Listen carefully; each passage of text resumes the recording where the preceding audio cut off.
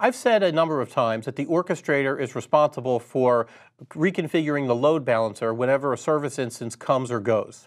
On this slide, we're going to take a closer look at that and see how that actually works. What I show on this slide are in internet requests coming in, and then they're hitting a load balancer, which is a type of reverse proxy.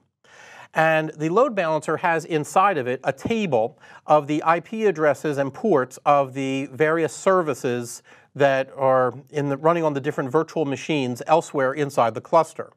And then on the right-hand side, I have a VM that's running the first instance of the inventory service, and it's listening on port HD, on, an HTTP port, let's say. Uh, and I have another instance running on a different VM, and I have a third instance running on yet a third VM. Now, when you create a load balancer, you typically can configure it with a bunch of what's called load balancer service probes. And here I show an example of what two probes look like, but you can actually have many probes that are associated with a single load balancer.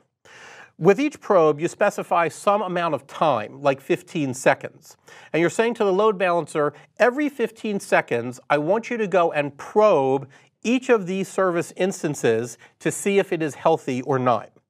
And then you can say probe it on port 80, and then I have another one that we're going to probe on port 8080. And then I can say, and what is the path? So this would be something like causing the load balancer to make an HTTP request to IP address for inventory number one, colon, port 80, slash, healthprobe.aspx, or whatever you want over here. And the load balancer will send this probe out to these three different virtual machines, all the ones that it knows about. And it will do it every 15 seconds. Now I have two rules here. So the load balancer is actually going to probe both ports, 80 and 8080, every 15 seconds across all of these, because you could have multiple services listing on each of these, but of course each one would have to be at a different port. Okay, so now let's say the load balancer goes and sends a probe out to all those machines and they all returned back an HTTP 200 initially. So that says to the load balancer that all of these machines are saying it's okay, right? HTTP, HTTP 200 means okay. And so the load balancer says they're all doing fine. So any request that comes in from the internet, I can send it to machine one or machine two or machine number three. Now let's say that machine number one, something has gone wrong. So the next time the load balancer probes all these machines, machine number one returns a 503 back.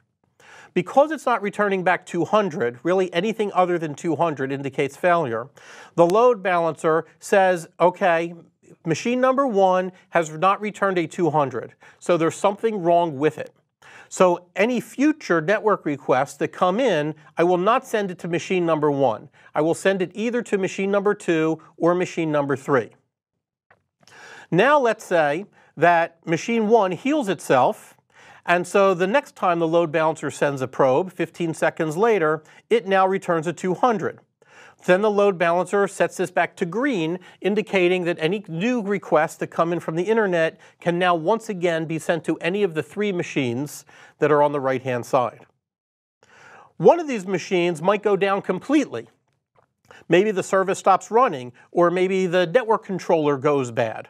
Or maybe you know, the, the kernel crashes on Windows, you get a blue screen in that case. So if the load balancer sends out another probe and this machine number two gives no reply back at all, then the load balancer sets this to red to indicate that there's something wrong with machine number two. So now any client requests that come up from the internet will either be sent to machine one or be sent to machine three.